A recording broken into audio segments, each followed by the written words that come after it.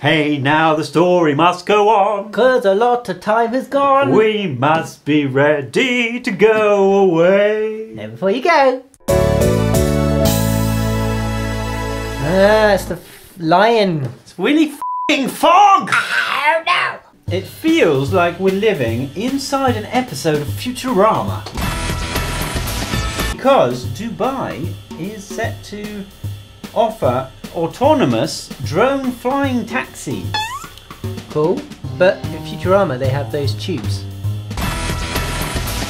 They do, yes. That's a lot like the um, Hyperloop. Air traffic control is, is going to have a nightmare with that.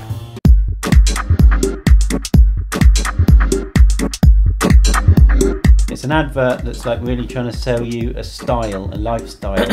I want to be him, yeah. Oh, I've got a suit like that. Oh, I've got a phone like that. Oh, maybe I need to be in a taxi like him. And then Do you have to be dressed like that to, to go in a taxi? That's what I need in my life. I need a taxi, a drone taxi. It comes with um, a tablet so that you can just select your destination and all But of air traffic control is going to have a nightmare with that. All these drones going everywhere.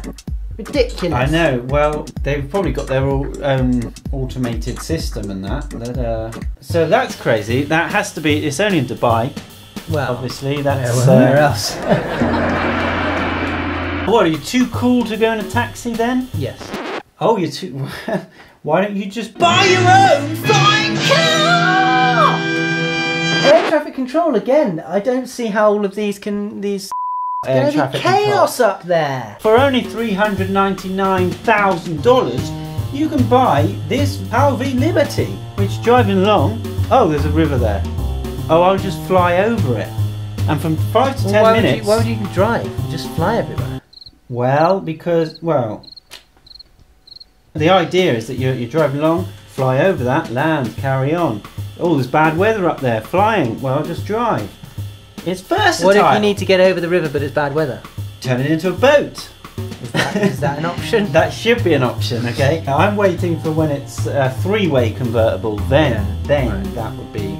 It's an amphibious What if flying car. But what if it's a, a canyon that you want to get past and it's bad weather? Well, then you don't go by car. I mean, come on. So flying cars, does that not impress you much? It does, but it just hasn't got the touch. They won't get you through the long winter's nights. That don't impress me much. Well, it's kind of alright, isn't it? But I don't- think it's actually going to be. Yeah, I think there's going to be complications to do with things like yeah. too many cars in the air and Well, airplanes, etc. It's if- just chaos. If just with flying a drone, there's so many new laws, and you, you have to have a license, and you can't mm-hmm. can't do it in certain built-up areas, and Can't even fly a kite in the street. Four, it's illegal to fly a kite. Did that surprise you? Well, leave it in the comments below. Are we living in Futurama already? Maybe. Comment below.